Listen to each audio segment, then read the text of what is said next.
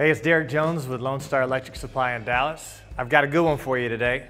We're highlighting Leviton, very well-known brand. I'm sure you've heard of it. Today, we're talking about something that hasn't changed in a long time. The traditional residential grade switch. You've always had the screw terminals. How many times has it been a challenge for you to make that perfect loop and try to get it perfectly on that screw, try to work all that into your box. So finally, Leviton has come out with a new version, and that version is the Decora Edge. What's really cool about this product is it comes with these tabs. All it requires is you open the tabs, insert your, your wire into the back of the device, and then click, and it's in. On the side of the receptacle, you can actually measure out how much you need to strip off the cable.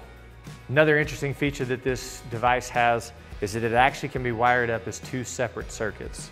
So this little tab here on the side, all you do is flip that off and you can wire it up to where you have one circuit going to the top and one circuit going to the bottom.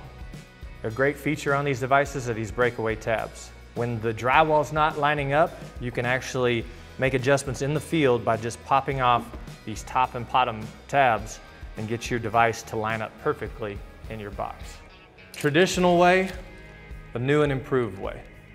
Call Lonestar Electric Supply today and talk to us about Decora Edge.